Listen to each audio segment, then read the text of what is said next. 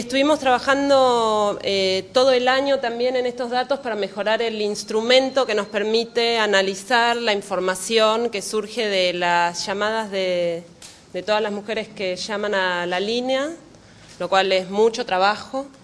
Eh, así que bueno, también para nosotras esto no es eh, un cierre del año, al contrario, estamos abriendo temprano el 2013 eh, muy temprano y estos datos son en función de, eso, de, bueno, de lo que esperamos que pase en 2013, que es la legalización del aborto, obviamente.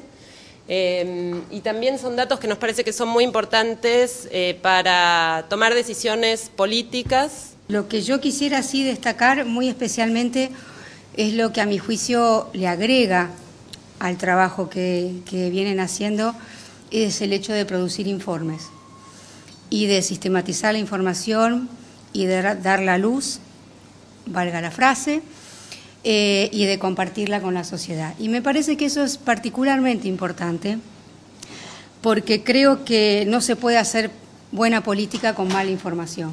Pero lo que no hay ninguna duda es que sí hay una discriminación de género. y eso, digamos, es, es imposible evitarlo, pero está bueno saber, me parece, el dato de que justamente no es un reclamo de un solo sector, digamos, y me parece que eso lo hace también más eh, interesante desde un punto de vista estratégico para llevar adelante una campaña de este tipo. Algo debe haber que, este tema en particular, en el cual el sector discriminado son las mujeres, es el único tema que sigue sin avanzar.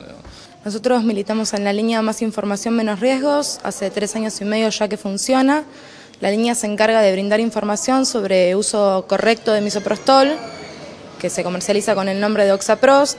Llaman más o menos 5.000 mujeres por año, en realidad llaman más, pero la capacidad de atención que tenemos por la cantidad de militantes que somos cubre 5.000 mujeres por año. De 2010 a 2011, el trabajo que pudimos registrar en la línea es que la información errónea bajó más de la mitad. En 2010 la información errónea era de un 80 y pico por ciento y pasó a un 38 por ciento en 2011.